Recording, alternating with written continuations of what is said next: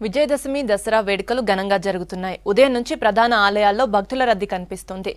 దసరా సందర్భంగా ఆయుధ పూజ జమ్మి చెట్టుకు పూజలు నిర్వహిస్తారు. తర్వాత భక్తులు పాలపిట్టను దర్శించుకుంటారు. అసలు జమ్మి చెట్టుకు ఎందుకు పూజ చేస్తారు? దసరా పండుగ ప్రత్యేకత ఏంటి? మరిన్ని వివరాలు మౌనిక అందిస్తారు. దసరా పండుగ అనగానే ముందుగా గుర్తుకొచ్చేది బొమ్మల కొలువులు బతుకమ్మ ఉత్సవాలు శర- శరన్నవరాత్రులు. వీటితో పాటు జమ్మి పూజ కావచ్చు ఇటు వాహనాల పూజ ఆ తర్వాత పాలపిట దర్శనం కూడా ప్రధానంగా చేసుకుంటూ ఉంటారు. మరి దసరాకి వీటికి సంబంధం ఏంటి? ఈరోజు ఎలాంటి శుభాలు కలుగుతాయి? అసలు దసరా రోజు దర్శించుకుంటే ఎలాంటి లాభాలు ఉన్నాయో తెలుసుకుందాం. మనతో పాటు పూజలు ఉన్నారు. మరి ప్రధానంగా ఈరోజు జమ్మి పూజ కావచ్చు షమి పూజ అని కూడా అంటూ ఉంటారు. దాంతోపాటు వాహనాల పూజ మరి మరి మరి ముఖ్యంగా పాలపేట దర్శనం చేసుకుంటూ ఉంటారు. మరి ఈ మూడింటికి దసరా పండుగకు సంబంధం ఏంటి? విజయదశమి శుభాకాంక్షలు మా సమస్త జనావళికి. ఈ యొక్క దసరా పండగ అనేటువంటిది మనకు ప్రత్యేకగా మన ప్రతి ఒక్కరు కూడా హైందవ ధర్మంలో ఉండేవాళ్ళు విశేషంగా జరుపుకునే పండుగల్లో ముఖ్యమైనటువంటి పండగ. ఈ రోజున శమీ శమీ యతే పాపం శమే శత్రు వినాశనం. అర్జునస్య ధనుర్ధారి రామస్య పరిదర్శనం.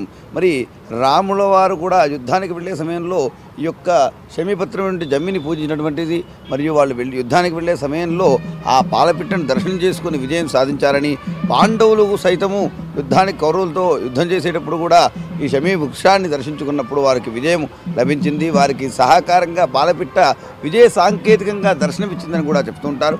ఈ రోజున ముఖ్యంగా ఈ నవమి అష్టమి నవమి దశమి ఈ యొక్క మూడు తిథులలో అమ్మవారు దుర్గా మహాకాళి రాజరాజేశ్వరి స్వరూపంగా ఉంటుంది.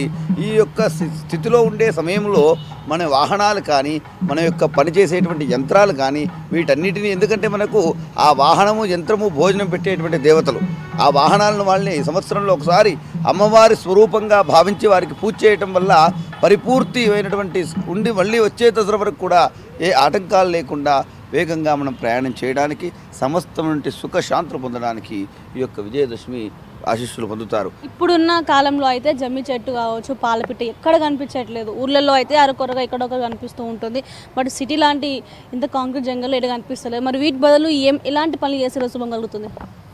ఇలాంటి వృక్షాలను రక్షించుకోవడం ముఖ్యమని చెప్పేసి ఇటువంటి పండగల్లో దీనికి అనుసంధానం చేశారు అంతేకాకుండా. అంటే అనేక ఓషధి తత్వం కలిగినటువంటి చెట్లని ఇటువంటి వృక్షాలను అన్నీ కూడా మనం కొట్టిపారేయకుండా మనము కూడా రక్షించుకుంటూ ఉండాలని చెప్పేసి భక్తులందరూ కూడా నేను తెలియజేస్తున్నాను. ఒక దీనికి ప్రదక్షిణ చేసుకోవడం. అంటే బిల్వపత్ర చెట్టు ఉంది. అలాగే దానికి కూడా త్రిదళం త్రిగుణాకారం త్రినేత్రంచ త్రియాయుషం త్రిజన్మ పాప సంహారం ఏకబిల్వం శివార్పణం అంటారు.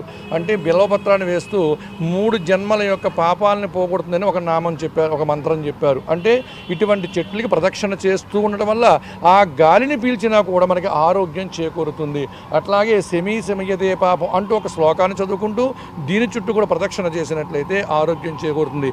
అలాగే కార్తీక మాసంలో ఉసిరి చెట్టు దగ్గరికి వెళ్ళి వన వన వనభోజనాలన్నీ పెట్టుకుంటూ ఆ యొక్క వనములకు వెళ్ళి ఆ ఆ ఉసిరి చేసే గాలిని పీల్చినట్లయితే మనకి రెసిస్టెన్సీ పెరుగుతుంది. అని చెప్పి ఇటువంటి చెట్లన్నింటి కూడా మనం రక్షించుకోవాలి. ఇలా రక్షించుకోమని చెప్పేసి అందరు కూడా నేను ఈ విధంగా ఈ దసరా సందర్భంగా మనవి చేస్తున్నాను. చెడుపై మంచి గెలవాలి అనే ఉద్దేశంతో ప్రతి ఒక్కరు కూడా విజయదశమి వేడుకలు పాల్గొంటూ ఉంటారు. ఇక శమి పూజ కావచ్చు ఇటు పాలపిడ్డ దర్శనం కూడా ప్రతి ఒక్కరు దర్శించుకుంటే అన్ని శుభాలు జరుగుతూ ఉంటాయి కూడా. నమ్మకం భక్తుల్లో విశ్వాసంగా ఉంటుంది. సో అందుకే ప్రతి ఆలయంలో కూడా శమి పూజతో పాటు పాలపిడ్డ దర్శనం కూడా చేసుకునే విధంగా అయితే ఏర్పాటు చేస్తున్నారు.